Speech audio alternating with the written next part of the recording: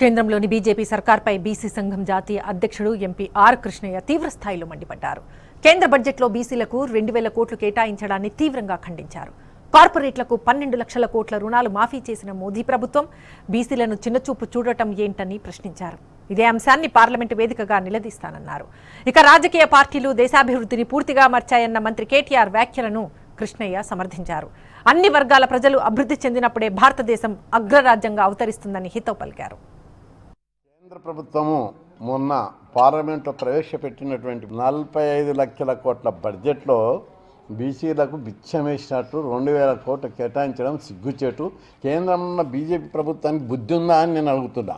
ఏమనుకుంటున్నారు బీసీలు అంటే బిచ్చగాలనుకుంటున్నారా ఎక్కడ దేశం ఏమవుతుంది కార్పొరేట్ సంస్థలకు అంబానికి ఆదానికి విప్రో పెద్ద పెద్ద సంస్థలందరికీ వేలకు వేల కోట్లు మొత్తం కార్పొరేట్ బడా సంస్థలకు పన్నెండు లక్షల కోట్ల రూపాయలు మాఫీ చేశారు ఎవరి డబ్బు అది?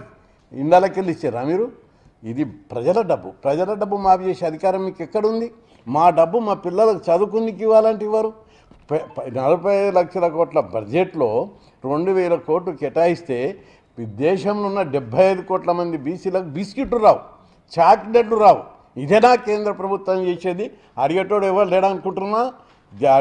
నిలదీసేటోడు ఎవరు లేడనుకుంటున్నా బిడ్డ ఒక్కొక్క నిలదీసుడు కాదు. అడుగు పెట్టని మేము ఎక్కడ దేశంలో? ఎక్కడైతే అన్యాయం జరుగుతుందో అక్కడ ప్రజలు తిరుగుబాటు చేస్తారని చెప్పి హెచ్చరిస్తున్నాం. రిజర్వేషన్లు అంటే విద్యా ఉద్యోగాలల్లో ఇరవై ఏడు శాతం రిజర్వేషన్ల ఒకటే కాదు. రిజర్వేషన్లకు అనుబంధంగా స్కాలర్షిప్లు ఫీజుల మాఫీ హాస్టళ్ళు గురుకుల పాఠశాలలు స్టడీ సర్కిళ్ళు అనేకమైనటువంటి సౌకర్యాలు ఏర్పాటు చేయవలసినటువంటి బాధ్యత కేంద్ర ప్రభుత్వం మీద ఉంది. ఆ క్రిమి లేయర్ లోపటున్నోడు ఒక లక్ష డెబ్బై వేల ఫీజు కడతారా? బుద్ధి ఉందా వీళ్ళకని నేను అడుగుతున్నా. జ్ఞానం ఉందా అడిగేటోడు లేడా? బీసీలకు దిక్కులేదనుకుంటున్నారా బిడ్డ? ఖబర్దారని హెచ్చరిస్తున్నా. నాది ఈ దేశంలో ఉన్న న్యాయం అడవిక న్యాయం కాదా ఇది? ఇంత అన్యాయమా ఈ దేశంలో? బీసీల పట్ల ఇంత దుర్మార్గంగా ప్రవర్తిస్తారా? తిరుగుబాటు జరిగే రోజు వస్తుందని చెప్పి హెచ్చరిస్తున్నా. పార్లమెంట్లో రేజ్ చేస్తా. ఒక్కొక్క పని పడతా. ప్రతి బీసీ కూడా ఆలోచించే సమయం ఆసన్నమైంది కేంద్ర ప్రభుత్వం డెబ్బై ఐదేళ్ళ తర్వాత కూడా బీసీలను బిచ్చగాల లేక చూస్తుంది. మేము వాటాదారులం బిచ్చగాలంగాం ఆఫ్రికా ఖండం లాంటి బానిస దేశంలో కూడా ఇట్లాంటి దోపిడీ లేదని చెప్పి ఈ సందర్భంగా గుర్తు చేస్తున్నాం. మీరు ఎన్నో రోజులు మోసం చేయలేరు. ఎన్నో రోజులు దోపిడీ చేయలేరు. ఎన్నో రోజులు అంచి పెట్టలేరని కూడా నేను ఈ సందర్భంగా హెచ్చరించదలుచుకున్నా.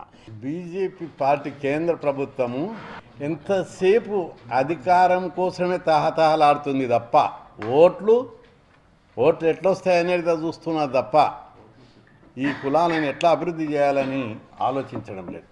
ఐటీ శాఖ మంత్రి కేటీఆర్ ఒక మంచి స్టేట్మెంట్ ఇచ్చాడు. దేశ అభివృద్ధిని రాజకీయ పార్టీలు మర్చిపోతున్నాయి.